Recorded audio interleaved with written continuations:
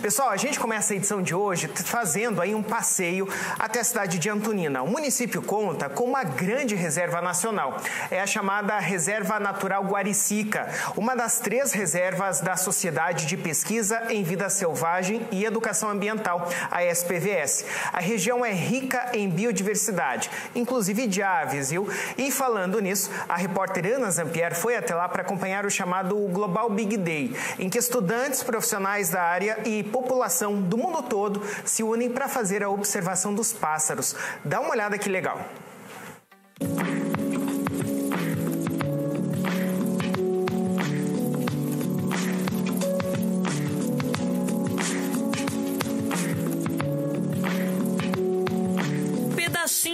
Grande Reserva da Mata Atlântica. Em Antonina, a chamada Reserva Natural Guaricica é uma das três reservas da Sociedade de Pesquisa em Vida Selvagem e Educação Ambiental, a SPVS. Uma floresta que representa a mudança e a esperança da renovação de mais biodiversidade e vida nativa.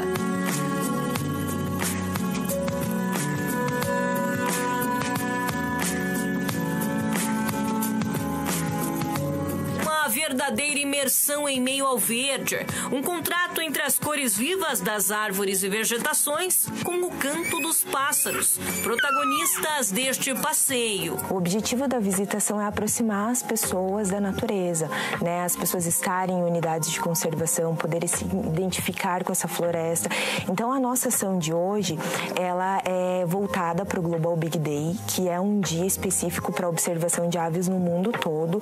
Tem como foco a sensibilização das pessoas. Por exemplo, se você está num escritório e você tira 10 minutinhos do seu dia para abrir a janela e ver que aves passam por ali, mas também para estar em unidades de conservação, conseguir observar as aves na natureza, o papel que elas têm, a importância. A reserva Guaricica tem quase 9 mil hectares, um dos maiores biomas, uma atividade que requer atenção e sensibilidade. É através de observações como estas que muitas espécies de aves foram encontradas e catalogadas. Um trabalho de cuidado com o futuro de aves nativas e muitas vidas. A SPVS é uma instituição do terceiro setor, trabalha com é, conservação da natureza há 40 anos. Uma das ações é a restauração, que é o que a gente faz aqui nas reservas, além de monitoramento, fiscalização, é, sensibilização e transformação também. Além disso, a gente trabalha fortemente com projetos voltados para a conservação da fauna, como, por exemplo, o, o projeto do papagaio de cara roxa, do mico-leão de cara preta, que acontecem aqui no litoral norte do Paraná.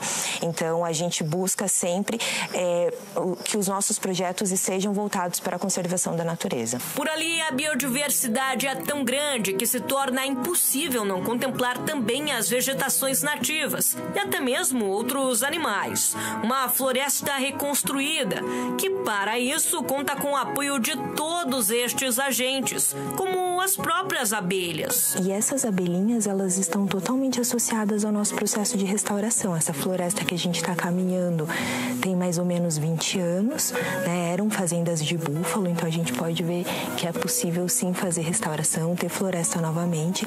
E essas espécies auxiliam, contribuem demais no processo de restauração, porque elas fazem a polinização dessas plantas. Então esse processo não seria possível sem elas.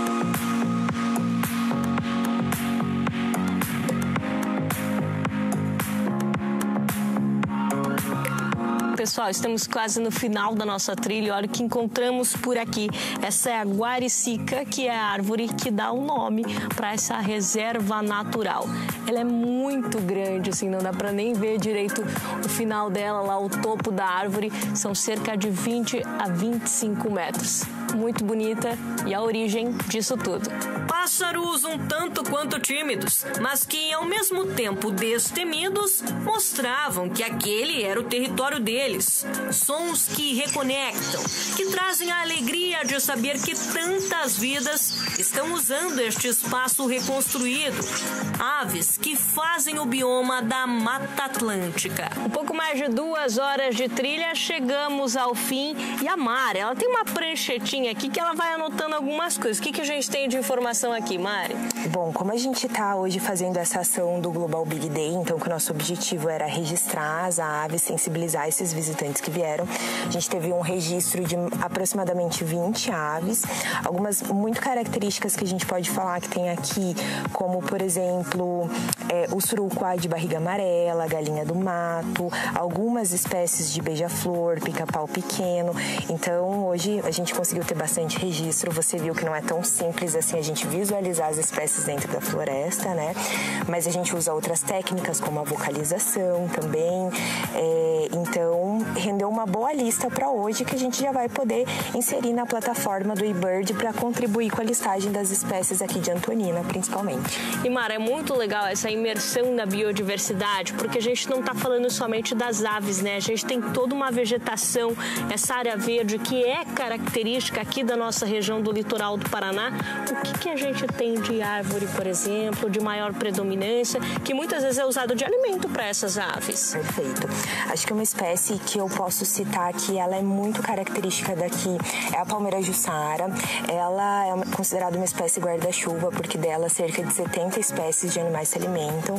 É, é uma, uma espécie vulnerável por conta do corte do palmito. Uhum. Então existem já outras alternativas hoje, né, para manter essa espécie na natureza, mas ela é muito importante nessa dinâmica da floresta. E a partir disso que a gente tem o começo dessa conscientização, que a gente muda aquela chavinha na vida dessas pessoas que vêm até aqui visitar essa reserva. Isso mesmo. Papel, missão cumprida. Missão cumprida.